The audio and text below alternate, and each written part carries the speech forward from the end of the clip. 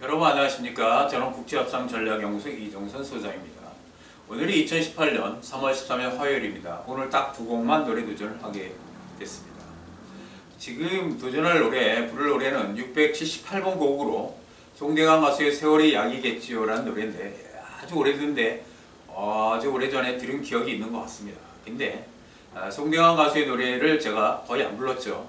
2015년에 이제 제가 알았던 노래 고향이 남쪽이랬지 이 노래는 거의 연습도 없이 도전했는데 나름대로 상당한 수준으로 불렀다고 자평하고 다른 분들도 인정을 하고 있습니다. 그리고 얼마 전에 또 이 정 때문이라는 노래를 김덕 작곡가 사무실에서 불렀는데 역시 아주 좋은 평가를 받았습니다.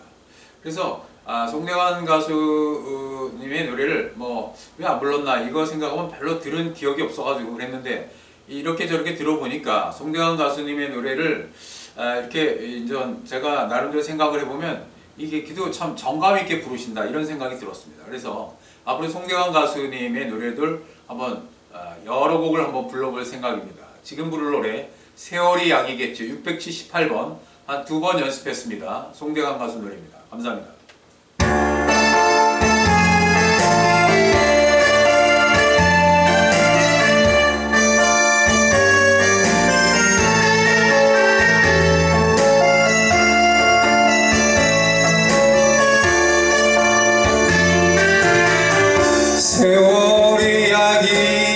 약이겠지요. 당신의 슬픔을 괴롭다 하지 말고 서럽다 울지를 마오. 세월이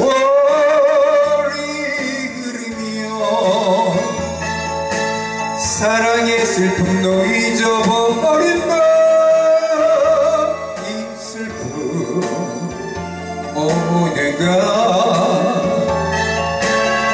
세월이 약이겠지요. 세월이 약이겠지요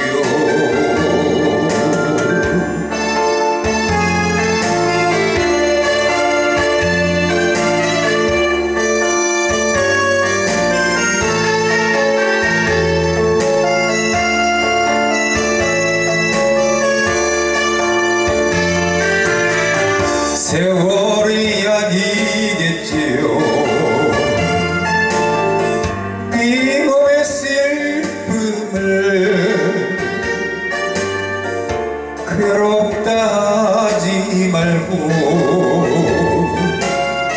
서럽다 울지 않으리 세월이 흐르면 사랑의 슬픔도 잊어버린다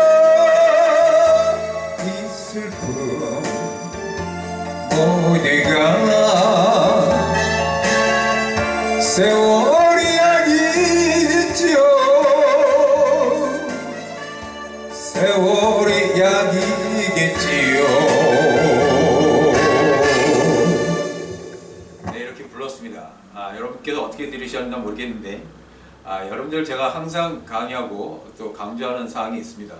많은 대부분의 유명 톡 가수들도 이 호흡법과 자기들은 호흡을 한다고 하는데 제가 보기에는 아니거든요. 그리고 또 중요한 것은 들숨날숨 처리를 못한다. 누구라고 지적 안 하겠습니다. 네, 인터넷상에서.